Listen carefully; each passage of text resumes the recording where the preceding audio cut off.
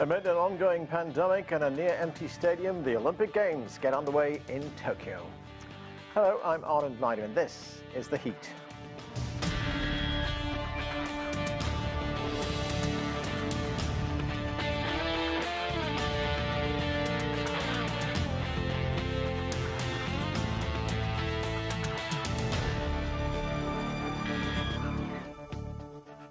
Organisers reported their largest single day total of COVID 19 cases on Friday, just as the Games were set to officially begin. Tokyo organisers announced 19 new cases, including three athletes and three residents of the Olympic Village, bringing the total number to 106. Inside the main stadium, the pageantry of the opening ceremony continued an Olympic tradition, only this time the seats were largely empty out of caution and concern over the ongoing pandemic. For more, we turn now to Adam Hunt in Tokyo. So, Adam, give us a sense of what the atmosphere is like in and around the city and the Olympics.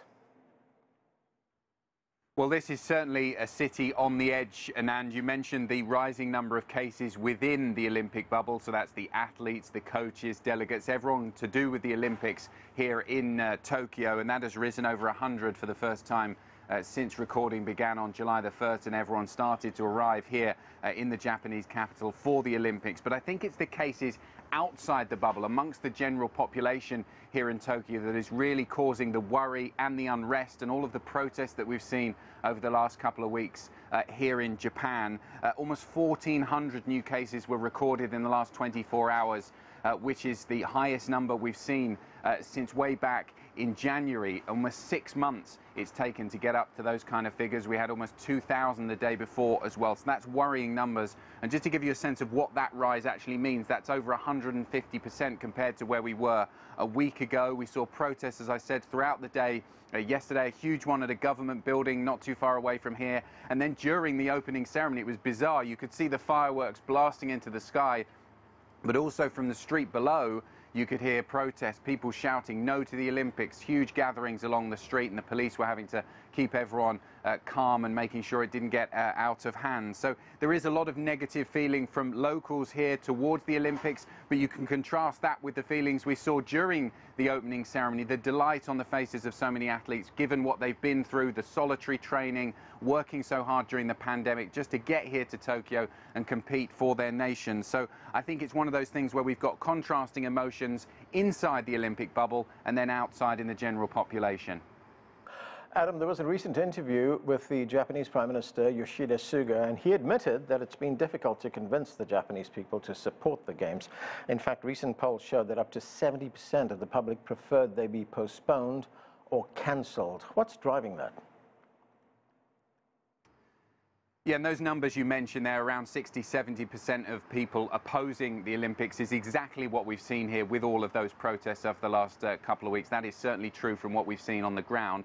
I think it's a combination of two things that is causing all of the unrest. The rising cases, both within the bubble and outside of the bubble. And I think the locals are really worried that some of those cases uh, within the Olympic bubble, although the numbers are relatively low and it's what the organisers say they were expecting, perhaps even lower than they thought they might see, they're worried that one of those cases might spread outside, and then there's the feeling that the Olympics has brought more COVID here to Tokyo. Another issue is the low vaccination rates in Japan. Only about 20% of people here have had two doses, the full course of the vaccine, which is very low compared to other similar countries around the world. So those two combined issues is causing uh, all of this unrest. Will the Olympics be cancelled? I think the answer now that the opening ceremony is through and, and many of the events have already started. We've had three days of competition so far. I don't think the Olympics are going to be cancelled now, but I think organisers are going to have to balance two things. They're going to have to balance trying to show Japan off and Tokyo off uh, to the rest of the world and hope the Olympics shows all of that sporting glory that we see uh, every four or so years uh, at the Olympics, but also balance that with the ill feeling towards the event from locals here in Japan. Thanks, Adam. That's Adam Hunt reporting from Tokyo. Well, there is much to talk about. Let's get to our panel. Yoshikazu Kato is a research fellow at the Rakuten Securities Economic Research Institute in Tokyo. Lisa Delpy Neirotti heads the MS Sport Management program at George Washington University. Also with us is Einar Tangen. He's a political and economic affairs commentator. And Dick Pound is a former Olympian and vice president of the International Olympic Committee. He joins us from Tokyo. Thank you, everyone, for being with us. And Dick Pound, let me start with you. You know, as, uh, as I mentioned, um, the Japanese public uh, are not very supportive of the Olympic Games uh, going on. Up to 70% of those surveyed want them postponed or cancelled. And then we add to that the fact that Tokyo has just seen a six-month high in COVID. The Japanese economy is not doing very well. So given all those factors, uh, give us a rationale for these games. Why should they go ahead right now? Couldn't they wait? Well, they, they certainly can't wait. Um, uh, the when the, the initial decision was made to postpone as opposed to cancel, in the discussions we had with the Japanese organizers, they said, look, we, can keep this ball in the air for a year, but but no longer than that.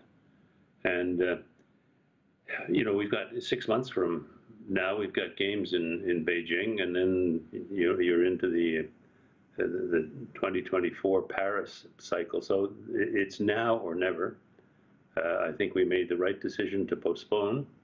Uh, it, it, certainly was not going to happen in, in 2020.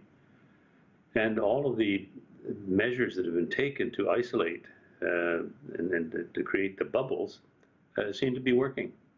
Uh, I mean, the, the, great majority of, of cases in and around the village uh, are not from foreigners. They're from from uh, Japanese Tokyo workers and, and others. So you, you, don't have a whole bunch of, of Olympians uh, out there coughing all over the, the general population. They're staying in the bubble.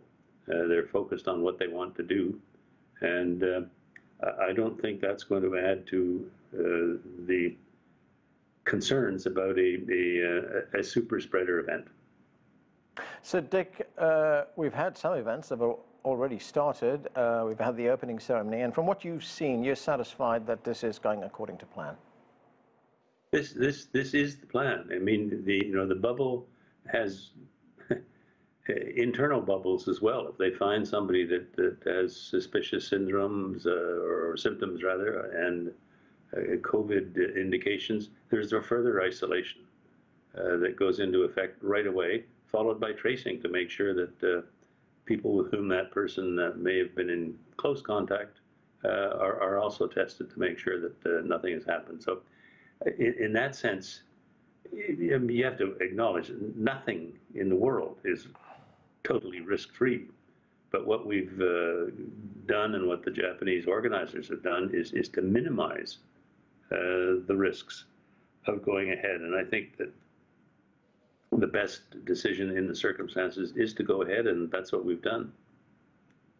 Yoshikazu Kato, uh, these games are being held in Japan under a state of emergency or quasi-state of emergency, uh, but there have already been uh, some consequences with the games being postponed with the uncertainty over COVID. Uh, Toyota the big motor manufacturer has withdrawn advertisements. Uh, we've also had another big company in Japan, Suntory Holdings. Uh, their CEO, it's a potential, was a potential sponsor of the, of the games, and their CEO, Suntory Holdings CEO, has been talking about it. Let's listen to what he had to say. We had a plan to open uh, more than a couple of uh, bars and restaurants only for our products uh, sponsored by us, but we canceled it. Do you think that these games could still boost international businesses for Japanese companies? More and more, I don't think so. I think uh, the Olympics have been losing its value. Do you think the Games should have been postponed? Considering the uh, current rollout of vaccines in this country, two months from now should be the ideal timing. So Yoshikazu Kato, what do you make of that? I mean, what kind of impact will these games have uh, on the Japanese economy? Uh, obviously, you know, the, the, the, impact of Japanese economy, I mean, because, because this is uh, the Olympics under the state of emergency. And actually, Japanese citizens are, you know, we are feeling collectively, you know, sacrificed or, you know, and how could we engage in, in the Olympics? So obviously, you know, you know, the Japanese economy is losing a lot because of the state of emergency rather than Olympics. So you know, the Japanese people say, uh, Japanese government, we are incorporate uh, with the government decision and holding Olympics game, but you know, what are what you can do for us? So you know, I think in terms of you know, domestic consumption, uh, this is the biggest uh, uncertainty for future Japanese economy. Um, but you know, the people are feeling very much isolated and frustrated. So you know, uh, we cannot see the goal. You know, where is uh, our you know solution and what would be the outcome of the Olympics games? So I think a lot of people are still feeling very uncertain and very much frustrated. So it's a very strange and ambivalent uh, situation in Tokyo under state of emergency. So people, you know, cannot feel we are engaged in the Olympics to, you know, re, uh, to restoring our economy. No, I think now that the situation is very much strange and ambivalent. Yoshikazu, we have seen uh, protests take place outside the stadium against these games going ahead. We've uh, heard of those polls that I've been talking about, where up to 70% of the Japanese people are opposed to the games being uh, held at this time. Uh, but, you know, Dick Pound just told us just now about the extreme precautions that have been taken by the International Olympic Committee to make sure uh, that these games are very, very safe. Uh, the Japanese people clearly are not assured by that. Uh, I do not think uh, we are convinced uh, this is a safe Olympics game. You know, so we are asking the government, you know, where is your priority? Uh, if you say that safety is our, our, priority to hold Olympics successfully, but I, I, do not think, you know, the government is convincing uh, us. So, uh, you know, of course, the Japanese people are, you know, doing well. I think, you know, they're wearing masks and of course, low vaccination, but we are, you know, we are not going outside. Uh, we are you know, not allowed to drink alcohol in the shop. Uh, you know, so anyway, uh, we are doing a lot for the government uh, to ensure the safe uh, Olympics game. but you know, where's safety? Where's the priority? I, I do not think we are convinced by the government. But you know, it's beginning already. So no way we have to do you know, what we can do. Right. Einar Tangen, uh, the next games, the Winter Games, will be held in China. Uh, that will be in February. That's just seven months away. Um, so China must be watching these games very closely, right? Oh, absolutely. And, you know, but the, the issues are slightly different. In Japan, uh, the, the, real issue is uh, the, the slow vaccination. I think there would be higher confidence uh, if they had uh, reached that point. There's also budgetary issues, some uh, issues about Holocaust jokes, et cetera, et cetera. But you have to balance that. On the other side, you know, the Olympics are an event that is supposed to pull the world together. And unfortunately, he, here's a symbol of how the world is not coming together. I think there should be a little bit more support uh, for this. Uh, and despite everything, uh, this should be a symbol of, of what the world should be like and pulling it together. Uh, in terms of China, they don't have the same issues with budget. Uh, they haven't had any massive PR issues now other than something about a song or something like that. Um, but there's concerns about weather. Obviously, uh, COVID-19, China by that time will be at uh, beyond herd immunity. I think they'll be around 85%. Uh, in terms of people in the stands, it's probable that they, if, if necessary, the stands could be filled uh, with Chinese citizens who would be glad to witness such an event. But the main issue right now is this idea of boycotting. You already have the uh, non-binding resolution uh, in the EU saying that their diplomats should not attend. Uh, you have Nancy Pelosi proposing, uh, in essence, the same thing in the United States. Um, the geopolitical issues are spilling over into what should be a symbol of how the world can come together. Right, but getting back to these games, Einar, uh, you say the world is not pulling together. What leads you to believe that? Well, I mean, uh, all, all of the uh, sniping and things like this. I mean, it's it's partly the government's fault, I think, because uh, as the spokesman from Suntory said, this was not the opportune time given the only 20% vaccination things. But there have been, um, you know, countries have pulled out. Obviously, they're concerned about the safety of the individuals, I mean, of their athletes. But it's more about perceptions, unfortunately. I mean, I think uh, if you look at the metrics that the Olympic Committee put out, it was very clear that they're doing a little bit better than they expected. Uh, so it wasn't a situation where people are, uh, quote, surprised by this, yet you do see people kind of uh, going sideways. It's understandable from a domestic politics point of view, but from uh, a world that badly needs to come together on yeah. so many issues, uh, especially climate, etc., this is not a good sign. Okay, Dick Pound, I want to get a quick response from you on what we've just heard, and then I want to get to Lisa. But Dick Pound, uh, give me a response, please. Well, I think something that, that should be remembered is, is that there are 205 different countries who have sent uh, their teams to uh, Tokyo. The only country that has pulled out is the DPRK, and that, uh, uh, while it's it's stated to have been because of COVID, uh, one never one never knows. Um, my, my uh, concern was was the the public health authorities and and, and and their view on all of this. Uh, we had a presentation by the Director General of uh, the World Health Organization at our IOC session, and he certainly described the the difficulties that, that exist on a global basis. But in, in the sense of uh, the games here, uh, he said, uh, you know, the IOC and the Olympic movement and the organizers have done uh, what they need to do, um, and that if, if we do the the normal things that, that actually work and, and prevent the, the spread of the, the virus, the, the, the, masks, the social distancing, the, the, the, personal hygiene, and so forth, that does control uh, the, the, the, virus. And, and we just need to keep uh, doing that. Right. I must say, coming back from the opening ceremony, uh, the streets of Tokyo were filled with young people uh, out uh, on a you know on a Friday night as it was or early Saturday morning, and uh, Japanese sport has continued, um, professional and otherwise. So it, it's clear that that, that that, that perhaps there's a, perceived emergency in in Japan, but right. but relative to the rest of the world, it's actually quite minor. Lisa, uh, great to have you with us. Welcome to the show. Um, what are your thoughts on this? Uh, when we look at what's going on right now, clearly there are arguments on both sides of this divide on whether the game should have gone ahead. But how, how important was it to hold these games, albeit in the midst of a pandemic? Over my 19 years of studying the or 19 Olympic Games, um, the Olympics have always been a target and, and a lot of criticism around it, and it heightens leading up to the Olympic Games. But you know, as um, Mr. Pound said, you know, the, the Japanese are out, they're excited.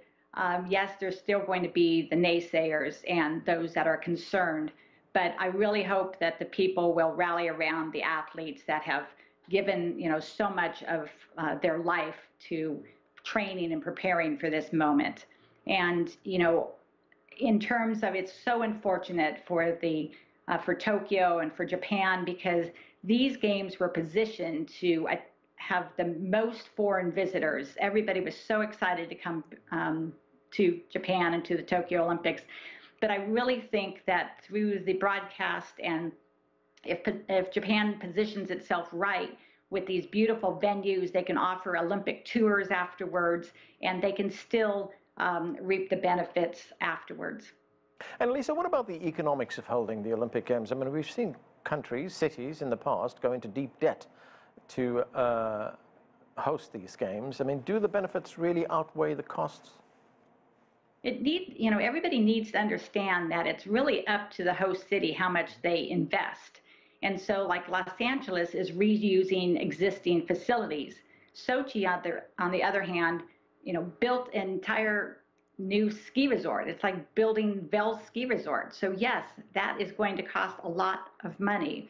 And you know, uh, Beijing is building their ski industry out as well, their winter sports industry. So it's going to cost more than other host cities. And I also believe that these venues that they're building, they don't last for 16 days. Mm-hmm. They last for up to 50 years or more. Right. Same thing with the improvements in the airports. So you should amortize those costs over all those years. But a lot of people just like to amortize them over the 16 days of the Olympic Games, and that to me is not correct. Yoshikazu Kato, uh, there was a study done by Oxford University that found that uh, every Olympics that's been held since 1960 is overspent by an average of 172%. And we look at the figures for, for these games, the, the, the amount to host the games. Uh, started out at $7.5 billion. That was in 2013, but they ended up at $12.6 billion. Um, what do you make of Lisa's point that there is a residual benefit for hosting the games? I mean, is it or is it not a bad deal for cities? Uh, very obviously, you know, if the government for, for Japan, you know, relatively declining economy, And if we hold Olympics game, you know, uh, it, it's a very you know multidimensional uh, effects could be expected. For example, you know, we are the government invests uh, for infrastructure and some you know companies uh, to engage in this infrastructure and most importantly the domestic consumption. You know, if you know we can uh, we hold Olympics game, you know, a lot of Japanese citizens uh, as well as foreigners uh, come to Tokyo and you know consume and you know, for, for, example, sports bar or you know the restaurants or you know hotels, you know, a, lot of consumption could be expected. But you know now, and we are holding Olympic game without audience, and the Japanese citizens, you know, we are not allowed to go outside and drink alcohol uh, with watching games. So you know, under this circumstance, this is very special situation, you know, compared to you know previous Olympics games. So you know, I, I do not think it is you know good to be you know compared with previous you know, Olympics game because this is the Olympics under the pandemic.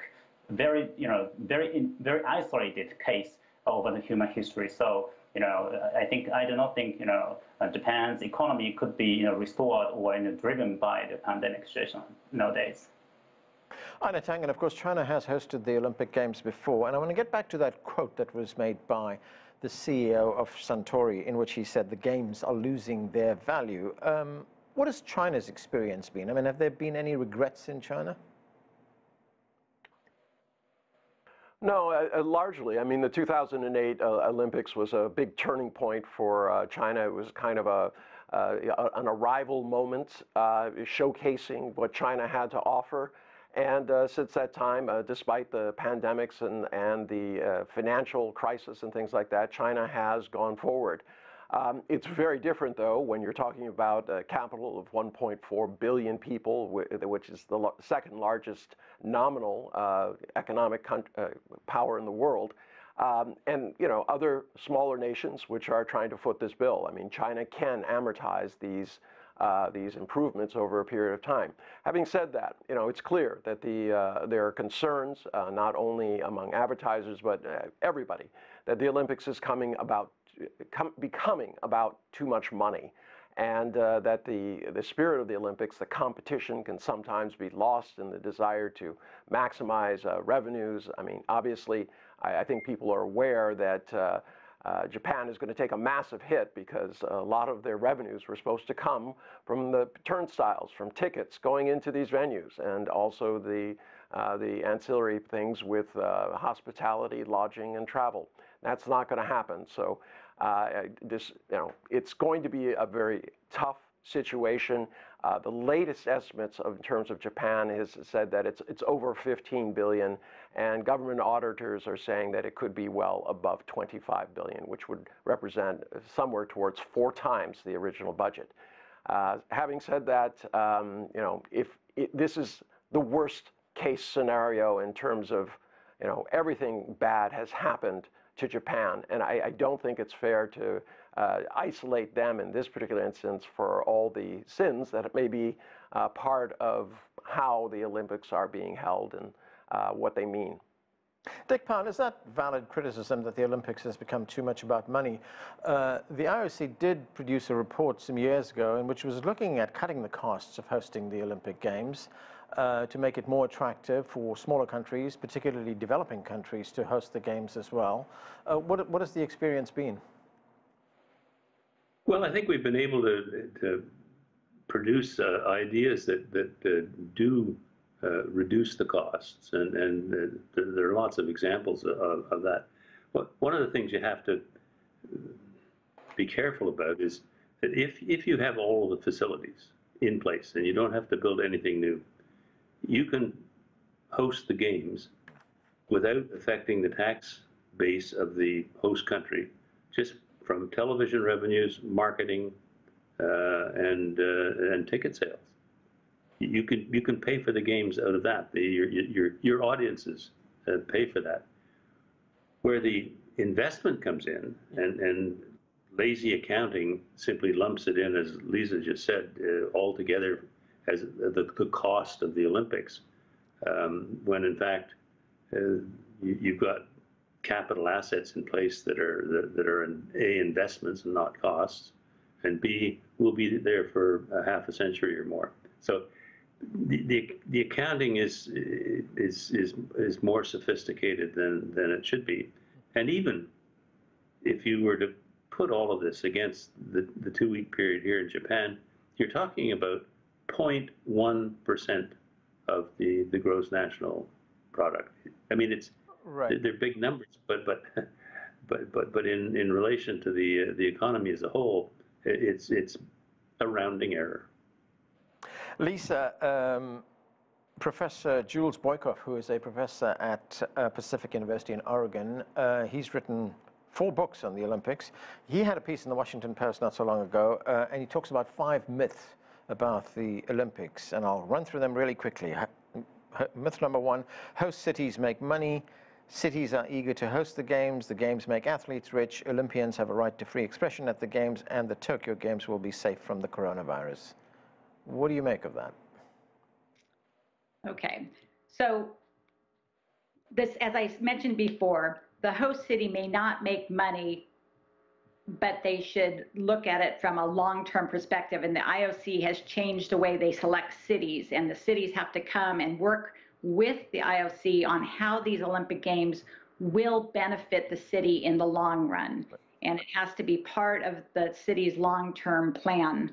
And so yes, it doesn't make money from those 16 days, but I do want to make a point that the the biggest revenue for the Tokyo Olympic Games was uh, domestic sponsors and then broadcast.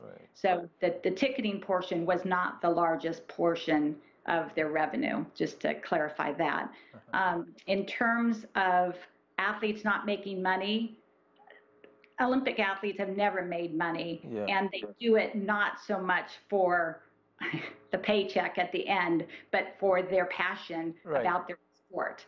So, um, in terms of athletes' freedom of expression, the IOC is looking at it. Um, the reason why they have Rule 50 is to uh, protect the field of play Right. and to keep the focus on the athletes.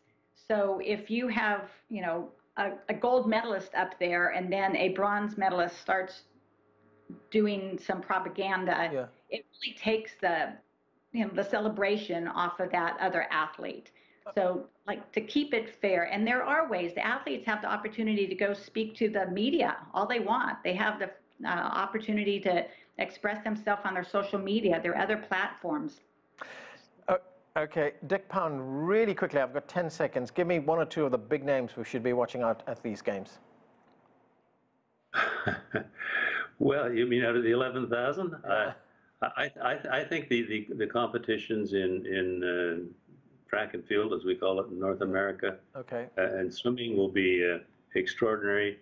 And the team sports are already off to some, some pretty exciting starts. Uh, softball is going. So I think when you have the chance to watch the best athletes in, in Okay. every sport, that's, that's the excitement of the Olympic Games. Okay, great. Uh, we have to end it there. That's uh, it for this edition of The Heat. I'd like to thank all our guests for being with us. I'm Anand Naidu in Washington, D.C. Thanks for watching.